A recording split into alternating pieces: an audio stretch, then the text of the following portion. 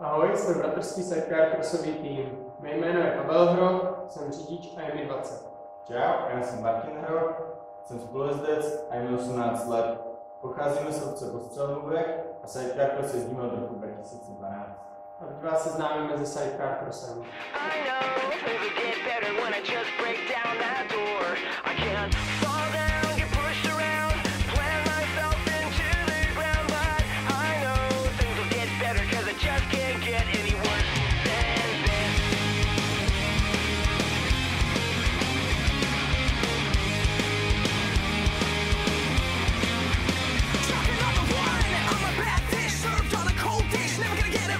I'm high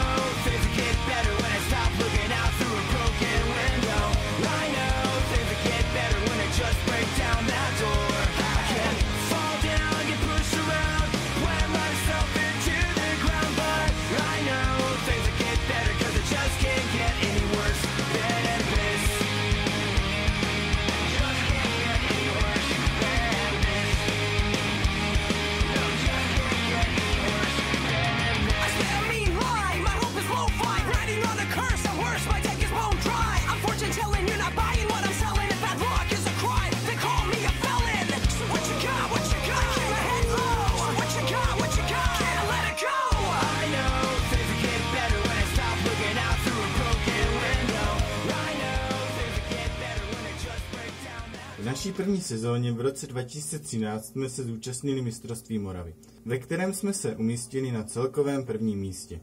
V roce 2014 jsme se krom mistrovství Moravy zúčastnili mistrovství České republiky.